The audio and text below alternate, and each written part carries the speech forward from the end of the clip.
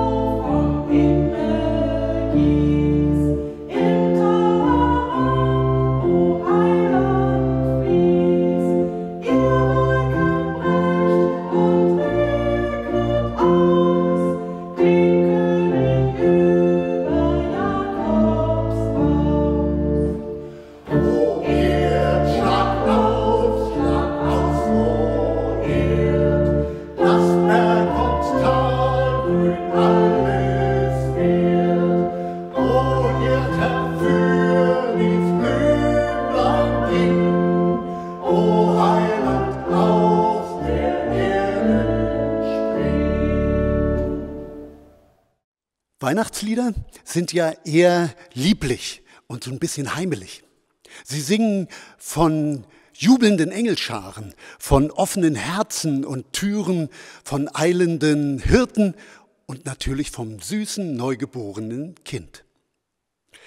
Manchmal verbinden sie uns mit tröstlichen Erinnerungen, aber manchmal tun sie auch einfach nur weh und sind so entfernt von der Realität wie nur irgendetwas.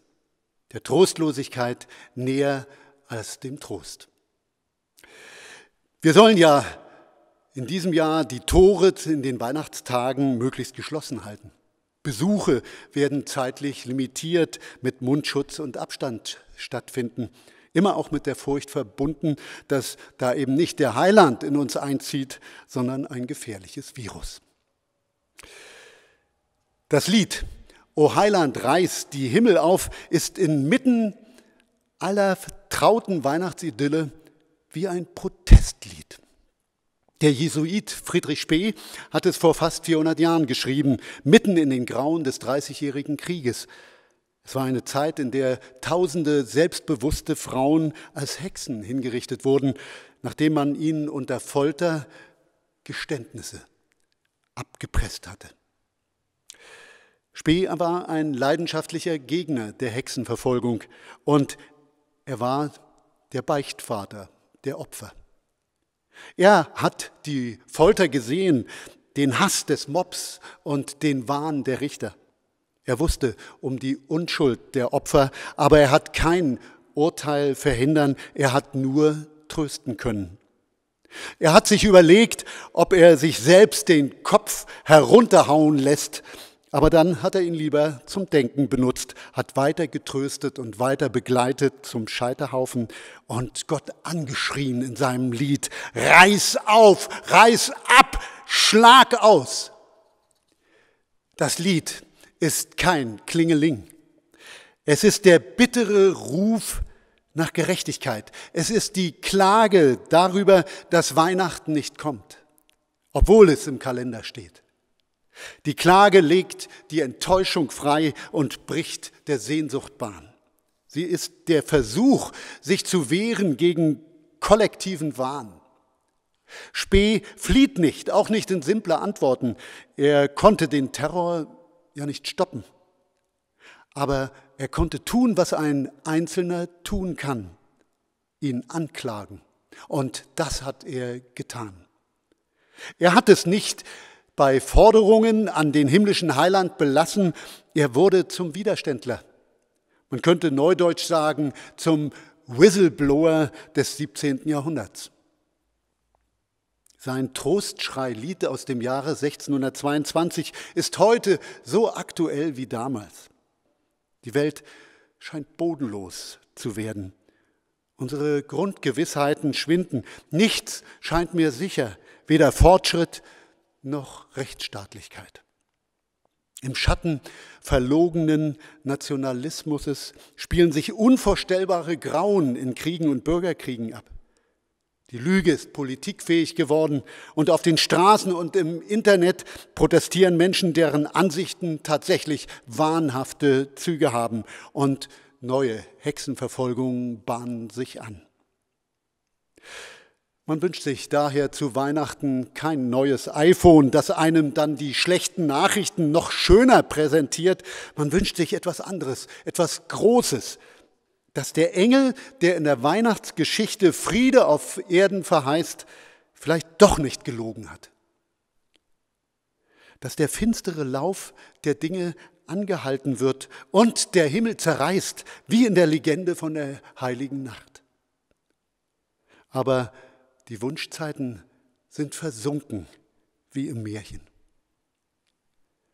Wünsche erfüllt kein Engel, kein Christkind, keine Fee. Wünsche erfüllen sich die Menschen selbst. Bei Wünschen, die man in Geschenkpapier einwickeln kann, geht das ja ganz gut.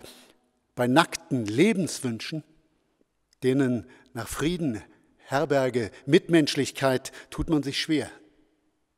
Wenn die Menschen sie sich zu erfüllen versuchen, tun sie das oft verzweifelt wie die Briten beim Brexit. Spee hat damals in größter Verzweiflung nicht resigniert. Er hat getröstet, geschrieben, geschrien.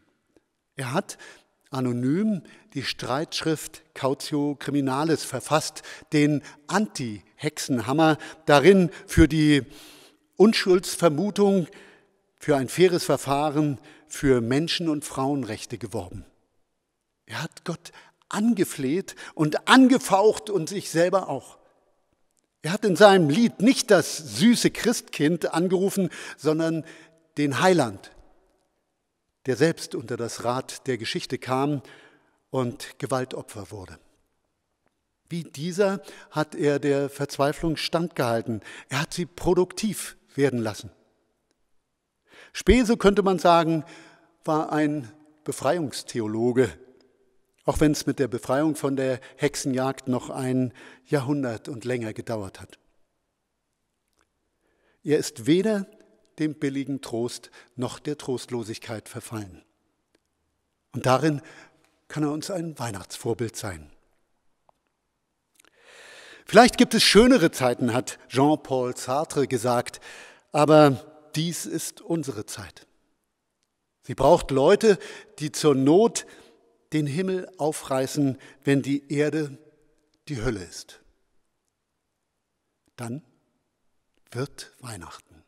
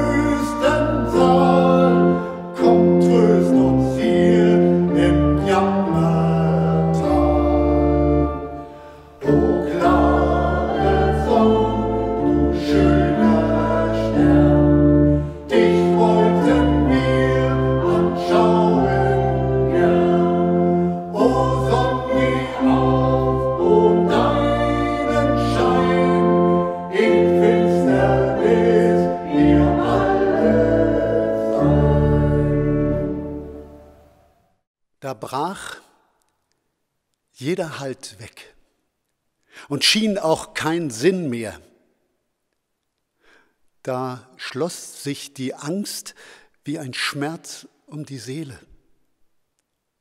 Da war auch kein Trost mehr. Die anderen lachten und du ganz allein im Dunkeln. Da habe ich dich schreien gehört, Bruder. Da habe ich dich weinen gehört, Schwester. Da habe ich dir glauben gelernt, Gott, Schwester, Bruder, dass du auch mein Weinen und Schreien hörst.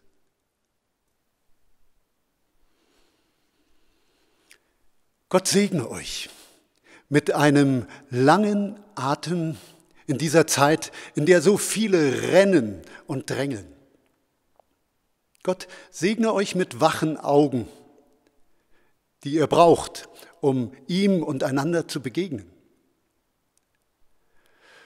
Gott segne euch mit starkem Vertrauen und großer Liebe, dass er wirklich und trotzdem kommt. Ja, so segne euch in dieser adventlichen Zeit der Gott Immanuel. Immanuel, Gott ist mit uns. Amen.